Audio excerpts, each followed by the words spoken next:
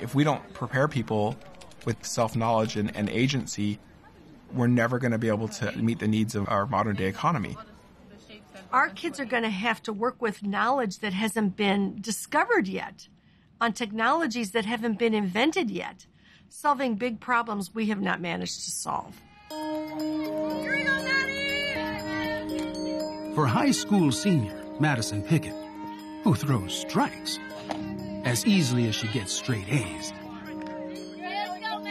Learning through projects provides lifelong lessons.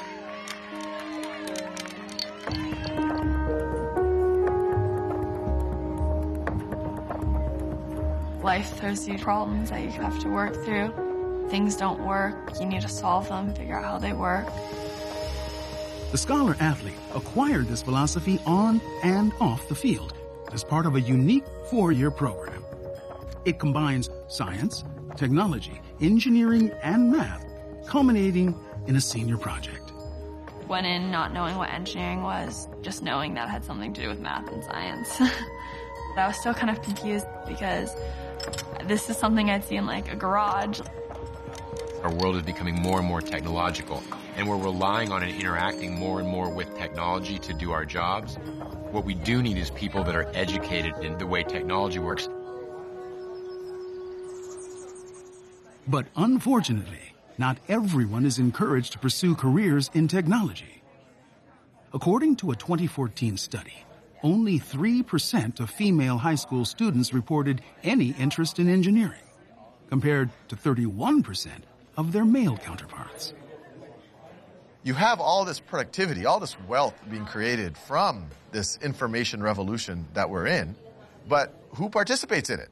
So I think your goal this period and third period is get this thing installed so we can actually. When physics teacher Amir Abo-Shaeer launched the Dos Pueblos Engineering Academy in his California school, he wanted to address another form of inequality the gender gap in science and engineering. If when the piston goes down again, I can't have 14 year old girls and their parents and their families deciding at this age to start shutting doors on these girls' career future.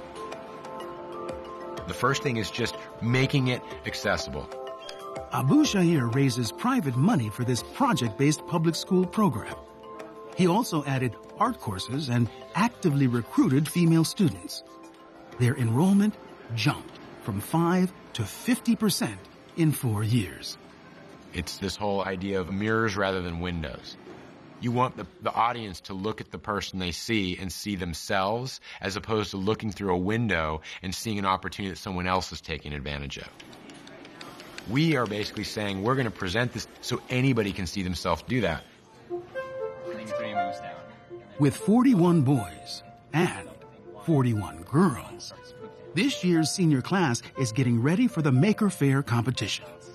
Their entry? A series of 13 interactive games, each demonstrating a different physics principle. They call it the Physics Arcade. It's going to be more of a touchpad, kind of you got to move it rather than like clicking something. Madison's team is building a game based on volume, density, and momentum. But not all the parts are working. They're all getting stuck right now, and I think that the acrylic is kind of a different height, so it's getting stuck right there on that white. Normally in a classroom, you get a problem and you just solve it, and normally you're using the equation the teacher already gave you. Whereas here, okay, you have this problem, you can use math, but what equation or what solution do you need to find? Why don't you guys think? I have an easy solution to this. This is my problem, I need this solution. How can I get there mathematically? The problem that you guys both address is that it's barely making it. Mhm. Why is it barely making it? Not enough momentum. Okay, so what's the easy solution? Put it back here? There you go. In addition to carrying a full load of other core subjects, Academy students must meet all the math and physics requirements of a science and engineering program. And then put that knowledge into practice. Our goal is to basically provide students with an educational experience that satisfies the traditional requirements they would need to graduate in a unique and disruptive way. What I think attaches the kids to it is the fact that they know it's a real thing. There are real stakes. We're going to a competition. With the competition just weeks away, time is not on their side. The show must go on.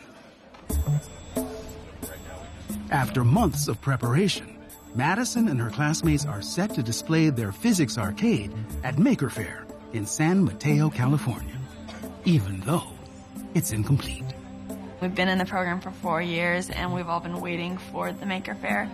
Instead of letting audiences play with the games, students will have to explain how the games are intended to work. Because we had the deadline, a bunch of us would skip class to go into engineering um, to work on our project. We all wanted to see where this project would take us. All right, you guys, it's hard to scope a project that finishes at the end of the school year. If we were a company, we could just slip schedule and like release the project a month late. You know, it doesn't matter. We're not. We're a school and we're all trying to do education here.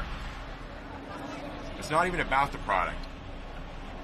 Focus on the process, not on the product. No, no, that try and get the ball through this red tube into here. Okay, what do I do? Have the ball travel up, come down the ramp. So each of the three shapes have the same uh, diameter, and then when you drop them in, you saw that linear relationship. Did you guys make all this? We made everything, every single piece was. Wow. Cool. Yeah. Today it was crazy to hear people kind of say like, this is your high school students? I can't, you're so mature and you've done all this? You're only a senior in high school? And we're like, yeah, like, we are. all this positive feedback made us all realize what we've done and that even though we never finished fully, we still have done so much this past year. The students from Dos Pueblos Engineering Academy did not go home empty handed. They won five awards, including Best in Class. As one of the best in her class, Madison will embark on a new engineering adventure after graduation. She'll be attending MIT. By solving real life problems rather than just sitting in a classroom. I'm a better problem solver now. But having all this backup in engineering will definitely help me and I'll hopefully have a step ahead. And so there's nine cylinders, and you're supposed to find out which one weighs more. Science